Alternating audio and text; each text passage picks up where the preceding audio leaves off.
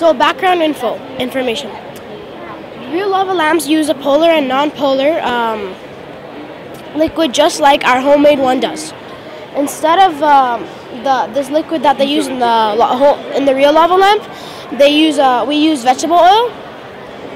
Uh, purpose of project. I mean, purpose of project. Purpose of project. Create an environmentally fr and friendly, safe homemade lava lamp.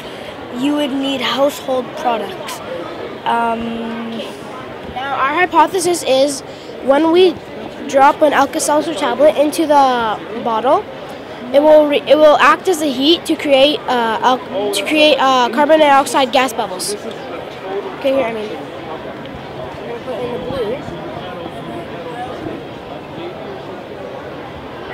As you can see, the bubbles are. As you can see, the the Alka-Seltzer tablet reacted to create carbon dioxide gas bubbles.